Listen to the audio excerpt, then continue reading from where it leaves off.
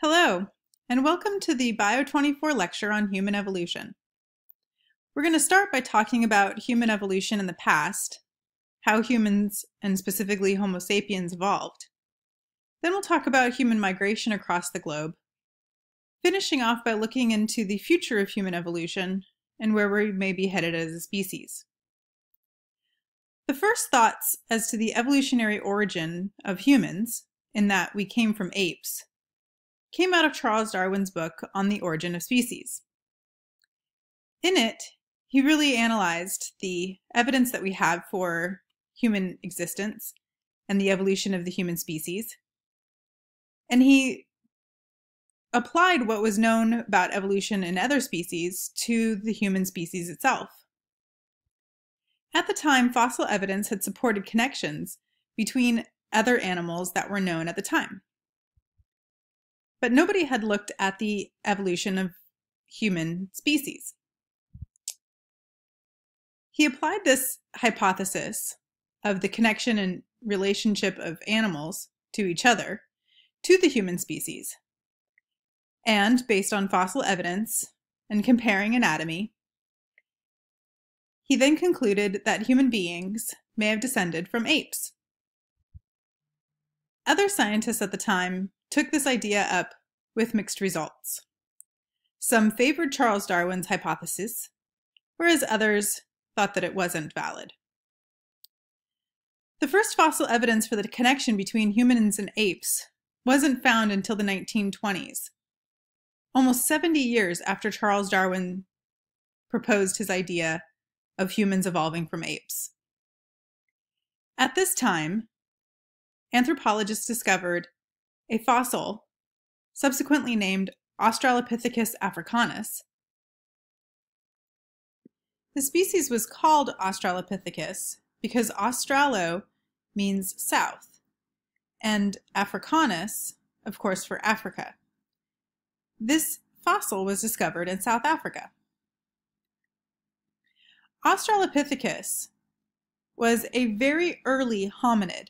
As we can see from this chart here, Australopithecus existed roughly 5 to 4 million years ago.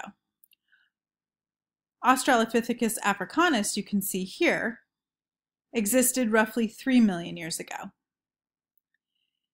The skull that you see in this image can show you that it still looked very much like an ape, but did start taking on evidence of human anatomy. This is the Australopithecus rendering made from the fossil that was discovered in the 1920s. Brain marks inside the skull indicate that the brain was in fact fairly small, similar to apes at the time. But the structure of the brain became more rounded, like the human species is today. There's also evidence for bipedalism, or walking on two feet, which is why you see this rendering as an ape that walked on two feet. There was also evidence that the teeth became altered and evolved.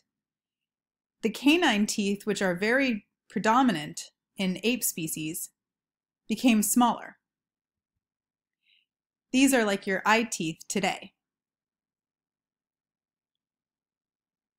The Australopithecus genus, then, appears to be a transitional form between apes and humans. The current scientific evidence is that Australopithecus is the immediate ancestor of the Homo species. Australopithecus gave rise to two different lineages. The Australopithecus genus evolved into the Homo genus and all its subsequent species, and the Paranthropus genus and all of its species. The Paranthropus genus lived for roughly 2 million years, which as we'll see is much longer than the Homo sapiens species itself. The Paranthropus genus lived roughly 3 million years ago to 1 million years ago, before it ended up dying off completely as a lineage. That means that of the Australopithecus genus, the only lineage that remains alive today is the Homo genus, and within that, only the Homo sapiens species. Let's talk about the Homo genus. The Homo genus first started out with the very first species to evolve, Homo habilis. Homo habilis lived from 2.4 million years ago to 1.5 million years ago, roughly 1 million years. Homo habilis lived in tropical Africa, ate anything it could find, meaning it was a great omnivore, and also displayed some fossil evidence that it was able to generate and form tools and even domesticated fire. Out of Homo habilis evolved first Homo erectus. Homo erectus lived roughly the same time as Homo habilis, overlapping by a few hundred thousand years. Homo erectus lived 1.8 million years ago to 70,000 years ago, living in Africa and from there migrating to Europe and Asia. Homo erectus also ate anything it could find, being a great omnivore plants, animals, insects, fungi, you name it. As you can see from these fossilized skulls, the forehead began to slope less and less, and the brain casing became more rounded and bigger.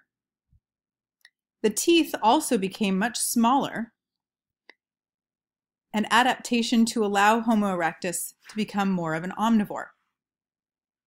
Homo erectus did have a larger brain compared to its earlier ancestors, Homo habilis, but was still smaller than Homo sapiens' brain. It was only 75% or so the size of the brain of Homo sapiens. There's evidence that Homo erectus used and made tools similar to Homo habilis earlier, though the tools that they made were a little bit more complex and diverse. They also very likely were able to control fire, using fire for warmth in the evenings, allowing Homo erectus to move to Europe and Asia, especially in the colder climates, also allowing Homo erectus to cook food.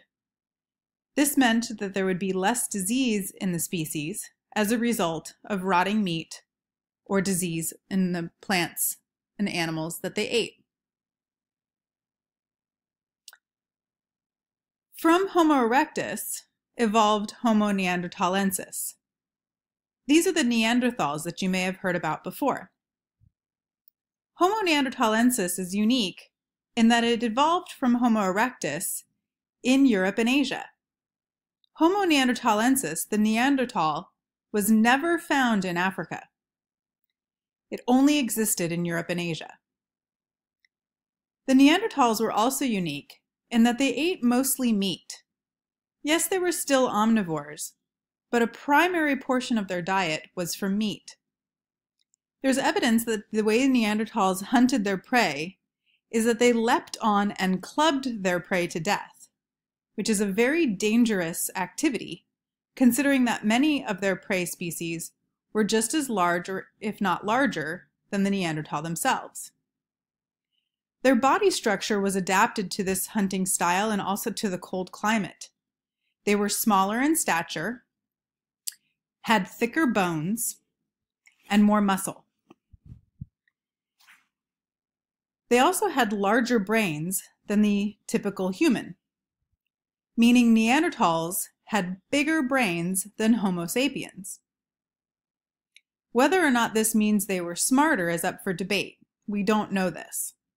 But they did appear to have larger brains on average. They also used tools, much like their earlier ancestors, and controlled fire.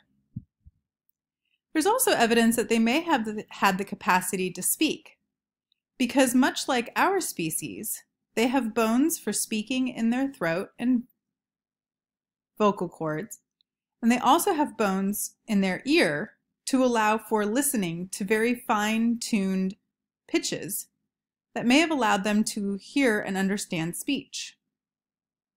They also constructed shelters for themselves, not just living in caves, but also shelters that they made themselves from plant and animal materials. There's evidence that they skinned and wore animal skins, likely to protect themselves from the cold of Asia and Europe where they lived. And even more interestingly, Neanderthals also appeared to exhibit ritualistic burying of the dead with goods. This indicates to some anthropologists that Neanderthals actually might have thought that there might be an afterlife after death.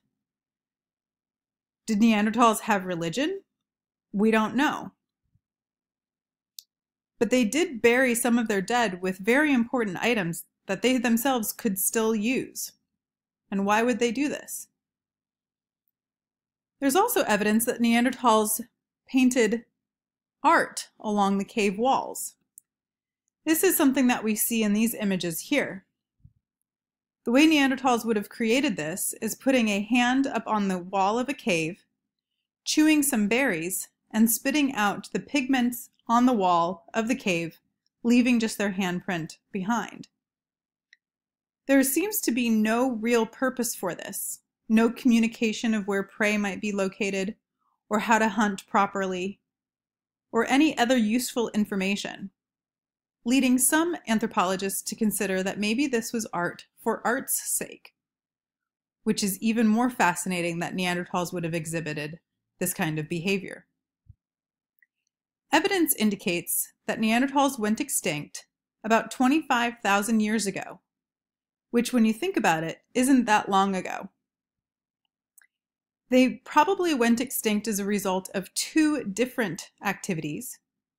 One, as a result of inbreeding with Homo sapiens, as there are some people still alive today with DNA from Homo neanderthalensis, but also as a result of fighting with Homo sapiens, as there's evidence of some bone matter from Neanderthals that have marks from tools and weapons fashioned by Homo sapiens.